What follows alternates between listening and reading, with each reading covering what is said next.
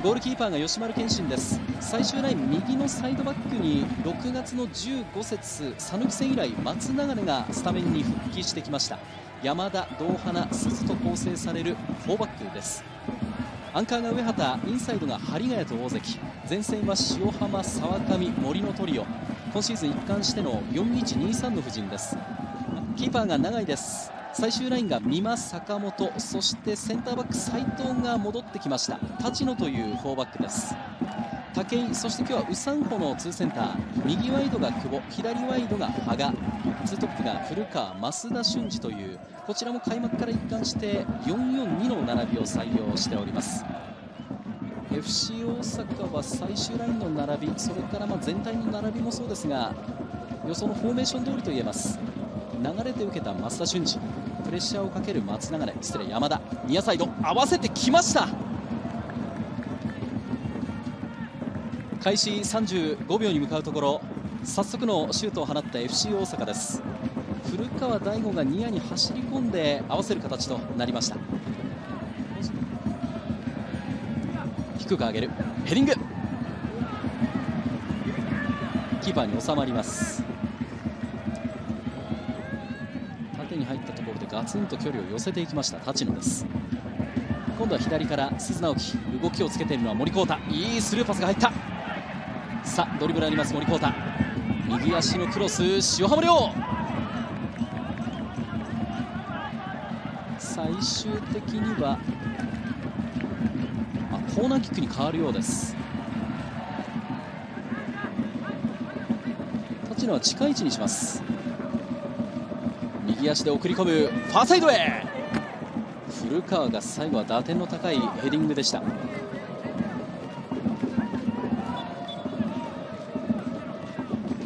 美馬からのボールでした。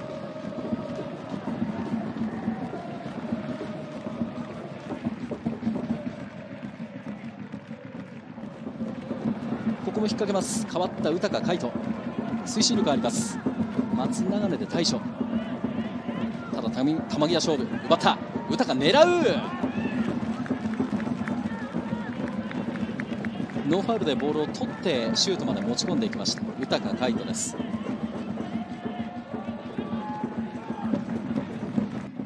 拾いにかかります大関。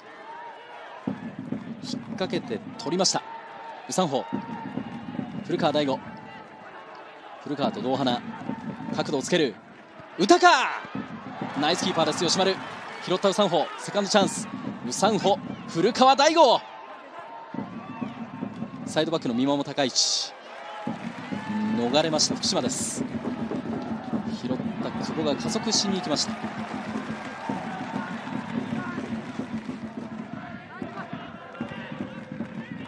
キーパーの吉丸から攻撃スタート。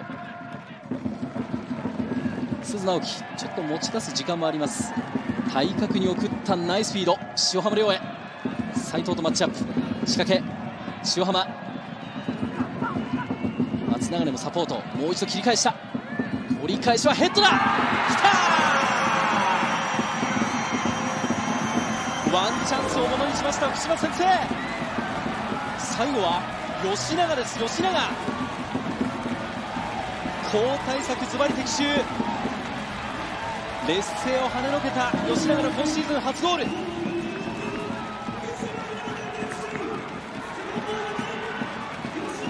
鈴のナイスフィード。塩浜の1対1の仕掛け。コースは切られながらも粘り強く仕掛けました。1点ビハインドはボール保持の FC 大阪。坂本から前足出します。福島ボール。大関。右足を浜。スルーパスが出る。ここはもう塞いだ立野です。ただまた流れる。塩浜反転。塩浜亮きた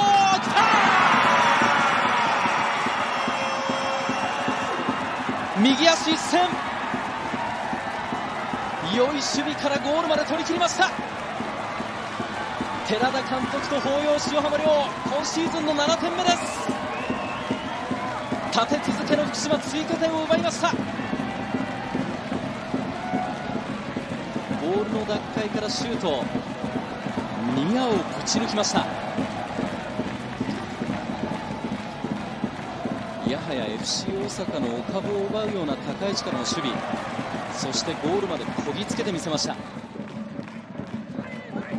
鈴はファーサイド伸ばしてきた最後は清水のヘッド。防いだのは長いこ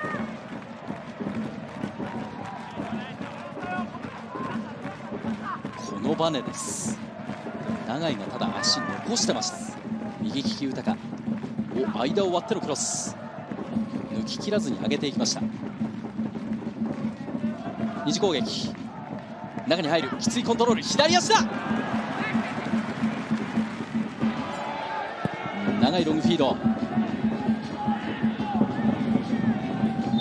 いい出足。ここで長い笛です。